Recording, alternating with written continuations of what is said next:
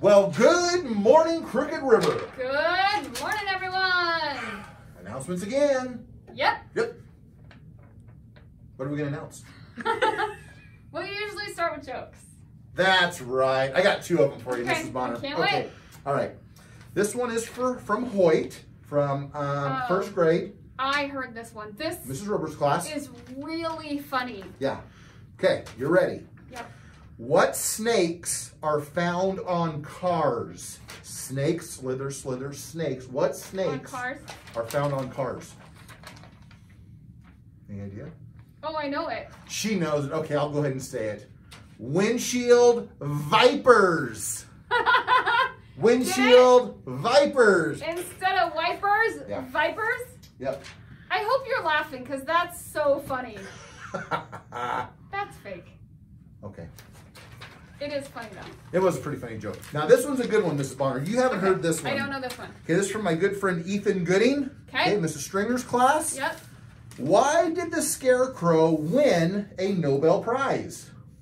Why did the Scarecrow win a Nobel Prize? Yeah. Why did the Scarecrow win a Nobel Prize?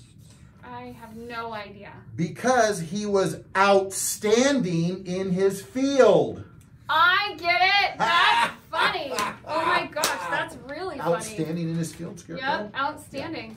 Those are some good ones, guys. Those were Yeah. two of the best, I think. Yeah, those are some good. So keep the jokes coming, kiddos. We love them. Very good. Okay, we have some rules to go over today. And then I have a really cool poem to share from a third grader. Nice. Um, but there's a few things going on in our building that need to stop. mm-hmm.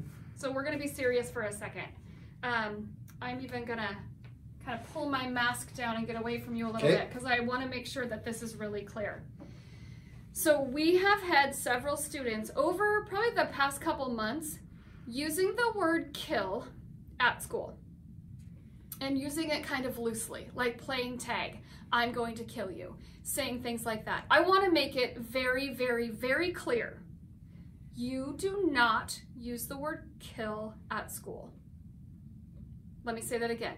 Do not use the word kill at school. Your teachers have already talked to you about this, but Mr. Stefanik and I are making it very clear. Anybody who uses the word kill, we take it very, very seriously, and major office referrals happen because of this. And you have to think about, even if you say it in a joking way, we can't say it in a joking way. Person you say it to goes home and tells their family, and their family is understandably very upset.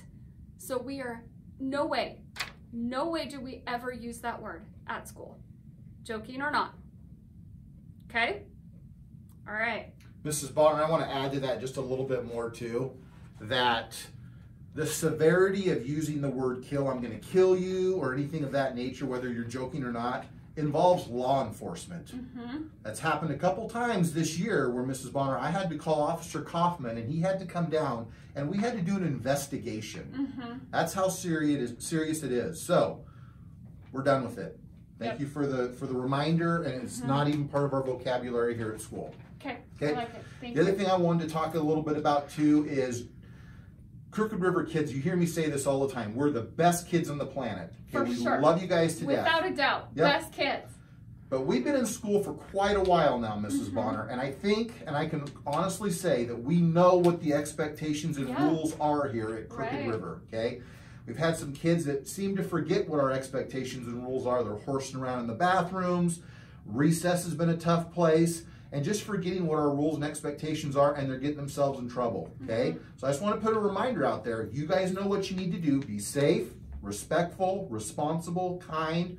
Follow the rules at school and you're going to be good to go. If you don't, you're going to get yourself in trouble. Okay. Just a little reminder there. Yep. And there's just one more thing.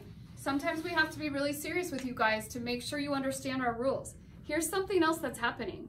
Kids are locking the bathroom stalls. They're crawling underneath the bathrooms and locking the stalls. So then somebody else has to crawl under them to unlock them. You guys, that's disgusting. Nobody needs to be on the bathroom floor. So if you see somebody locking the bathroom stalls, you need to report that. We need to find out who it is, and that's vandalism, and it will be a major office referral. Do not lock the bathroom stalls. That is not respectful. It's not responsible. It's not safe. and it's certainly not kind. Do not lock the bathroom stalls. I mean, when when nobody's in there, right? When you're in there, block it. But I'm saying that kids are actually crawling under, locking it, crawling back under, so nobody can get in. We're not doing that either. No. Okay. Not funny at all. Not funny. Okay, so sorry, some serious things we had to go over. Um, but now I'm going to read a poem to you from a third grader from Mrs. Wee's class, and her name is Ainsley.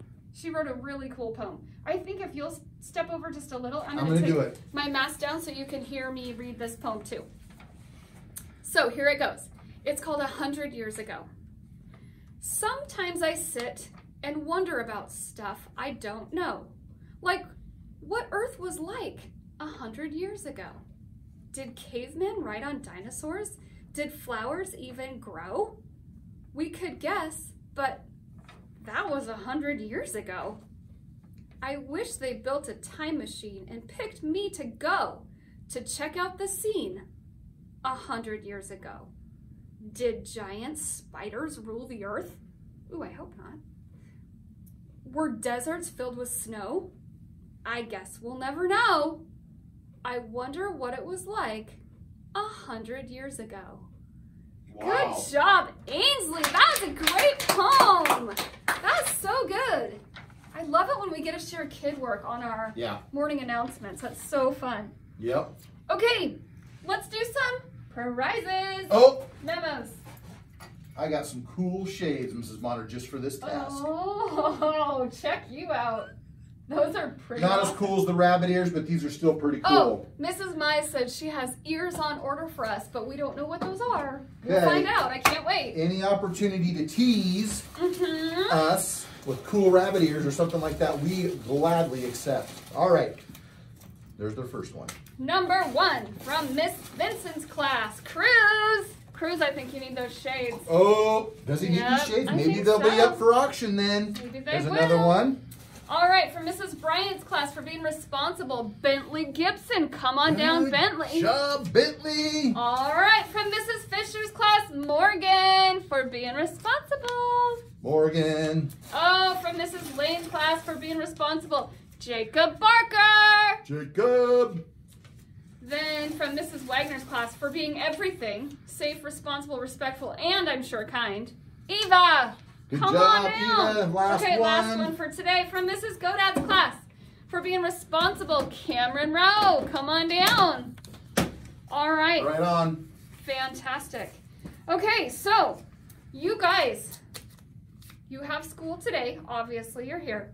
And then your teachers have conferences tonight with some of your parents. And then there's conferences all day tomorrow. Mhm. So there's no school tomorrow. And then when you come back to school on Monday, we have a lot of full weeks now. Lots and lots of full weeks until the end of May. So lots and lots of learning to get Yep. to. It's hard to take You know what I'm going to do about all that, that hard learning going on? What? Dab, Dab it. dab, Let's do it one more time. dab. My kid tells me I dab wrong. I don't. That's because we're adults. We do it wrong. But it still looks cool, I think. Okay, so let's do it one more Okay. time.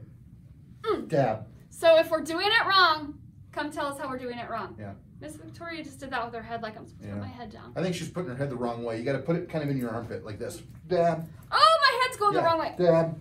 There it is. oh. Yep. Okay, I'm Yep. probably still doing something wrong. So come and It's tell because you don't have the shades on, Mrs. You know what else I can't do the is that. shades. What's that dance that you go like this? Oh, the flosser. I can't do it, and my kids I can't just. either. You do better than I can. I cannot do the flop. We're working on our dance moves. Okay. We're- okay. All right. Fly salute. Okay, let me take the cool shades Yeah. off. I want to be Be respectful. respectful. All right. All right, everybody. Oh, yep. Right hand over our hearts. We'll let Mrs. Mize get behind us so she can look at the flag. All righty. Ready, begin.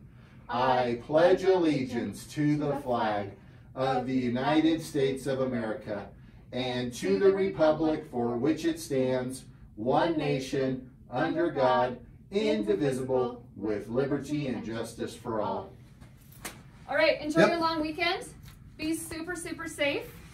And, uh, oh, you want to know what? This weekend on Saturday, I'm getting a puppy. Oh, how fun. Puppies are so cute. Oh my gosh, I can't wait. I'm going to give you a dab for that. Dab. Yeah. Was that right? I don't know. Looks good, Mrs. Bonner. We'll go Anyway. with it. All right. I'll tell you all about my puppy on Monday. Okay. Okay, have a good weekend. Bye. Bye.